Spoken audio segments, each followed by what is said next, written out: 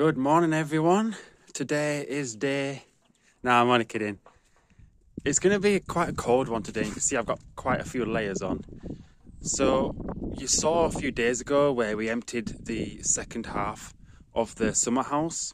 So, I'm going to show you what the plan is today. We want to be in and out because it is pretty cold and we can make use of the time tidying up the tool room, which is the middle room on the back end of the kitchen. So this is our tool room, kind of storage as well. You can see there's just bits of insulation and polystyrene from the tip that we reclaimed for the utility room. So there's just bits of spare things. Now all of this was actually brought over from the UK. And you can see we did pretty well cleaning this area the other day and we've made use of some empty boxes now after putting it all in a polytunnel. So we want to box up loads of tools and start bringing them inside the house. See it's looking pretty sparse in here now, which is really good for when the weather starts clearing up. So the plan is to start boxing all of this up. Um, there's another two spare doors there. And it's just all sorts. Absolutely all sorts. And this is where the old Pechka flue is, and it's just the ceiling above here is absolutely nasty. It's full of uh, nests and all sorts. And in one of the very early videos, taking out the hole in the summer house wall, that's what we had exposed to the kitchen previously. And there was loads of boards and stuff here. But unfortunately, we did get some furry friends crawling through through the winter period. But we're going to absolutely nail this this year. And I've told you before, we want to do and take this down and put a new buttress wall and block it all off. So there's actually a, a really large sheet metal uh, fastened to the kitchen side wall and then insulation on the other side. And since we did that, we've had no issues. The plasterboard was all spare from the extension jobs and the partition walls. So we've only got five or, four or five sheets left. That will most likely have to stay in here because it won't fit in the cellar. Water heater, that can be moved but it's just all sorts. So we're going to start tidying this today.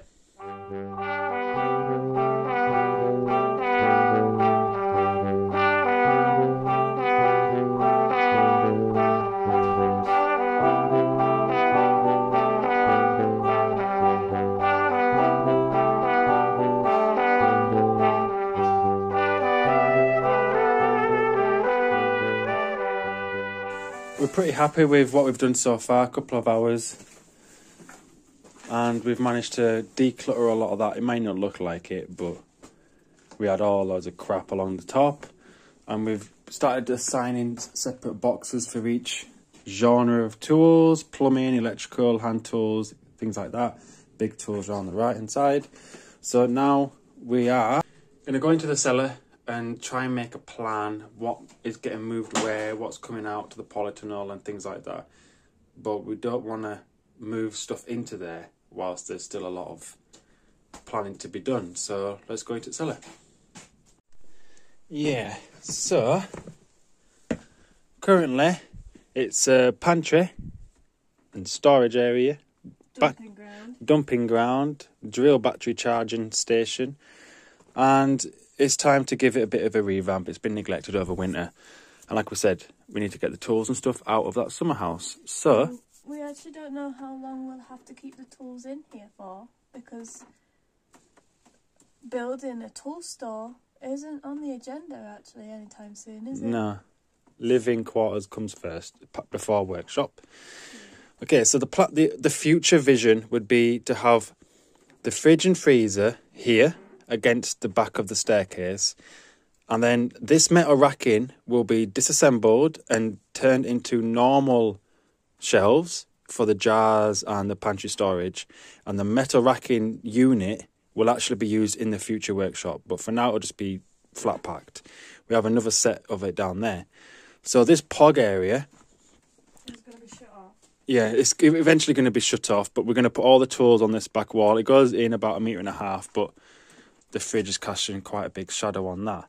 So this area here is basically being tidied and sorted to go down there around the corner. And then all the tools, and we've got like our bulk storage of detergents and washing up liquids and cleaning materials that we bought when we first got here, and some that we brought over from the UK. So this is where we get all our bulk stuff, which saves us money when we do our shopping. So let's crack on.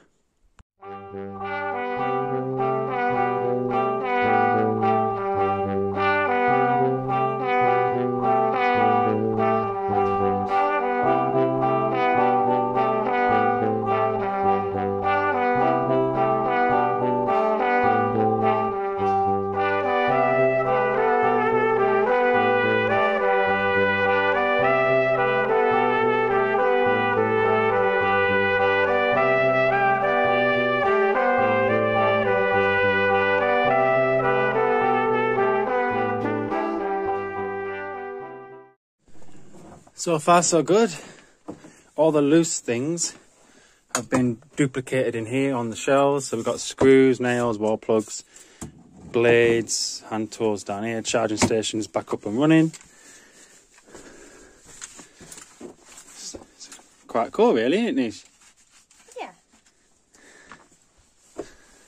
So now the plan is to start bringing some of the boxes in and putting them around that corner and then maybe bang some big nails into the mud mortar and hang some stuff up if we can get away with it.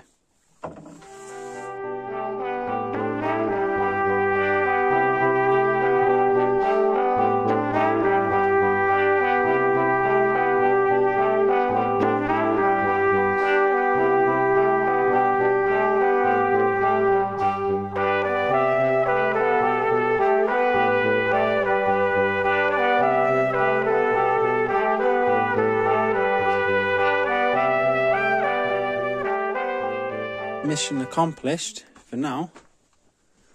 Just turn you around. Everything is looking pretty good. We've got the paints in. We've got the boxes in. Anything less used is on around the side in the little mine that it looks like. And everything's ready to go.